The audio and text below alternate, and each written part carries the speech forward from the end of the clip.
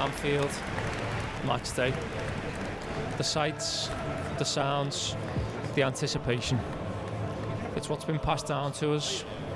It's what we look forward to each and every time we come here. But football, as you know, it has changed. The rising influence of social media on football has left many fans wondering what's real and what isn't, and whether it's good or bad. I'm Dan Morgan, and I've been finding out what influence social media is having on the game.